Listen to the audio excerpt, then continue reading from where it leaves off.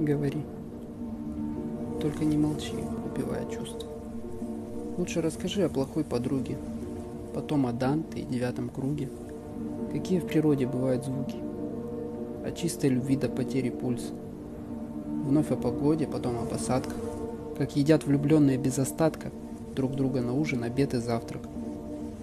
Расскажи мне о минусах и плюсах, холодном море и горах за окном. Как счастливы люди на кухне вдвоем. И как красочны мои фото с тобой.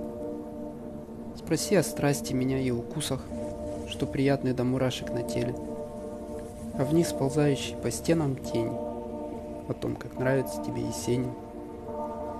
Поведай о моде и своих вкусах. Любви к природе и что завтра будет. О том, что в головах лживых судей. О прогулках под дождем и простуде. Только не молчи, убивая чувства.